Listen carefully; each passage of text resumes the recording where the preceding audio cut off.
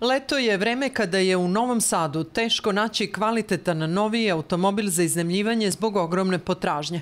U novosadskoj firmi Uniline saznajemo da posao ide dobro i u vreme pandemije.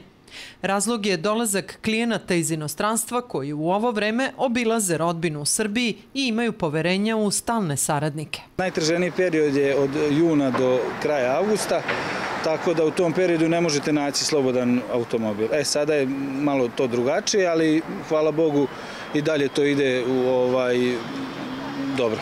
Čini mi se da i sada teško naći automobil kod vas. Pa, hvala Bogu, jeste. Ako želite da iznajmite nov automobil i otputujete na vikend, to možete uraditi za svega 20 evra po danu.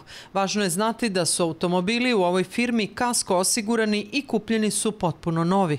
Sva naša vozila su kasko osigurana, osigurani su putnici, vozila su u garanciji, tako da, da ovaj, mi vodimo računa, ovaj, održavamo vozila u ovlašćenom servisu, tako da, da što se tiče naših vozila mogu slobodno da idu bilo gde po Evropi. Koliko su vesti iz novosadske firme Uniline dobre, govori i podatak da je najpoznatija svetska kompanija Hertz bankrotirala nakon pada poslovanja zbog pandemije.